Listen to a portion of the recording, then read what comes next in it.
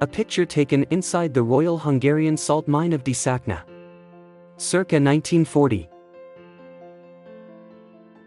Major General Horatio Gordon Robley, with his collection of preserved tattooed Maori heads. Circa 1895.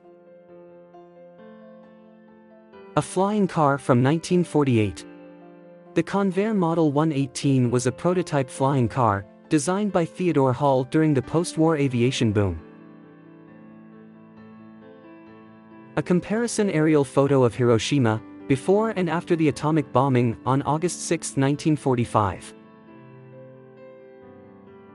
During World War II, the Boeing bomber factory was disguised as a neighborhood to throw off possible air attacks. Seattle, Washington, circa 1945.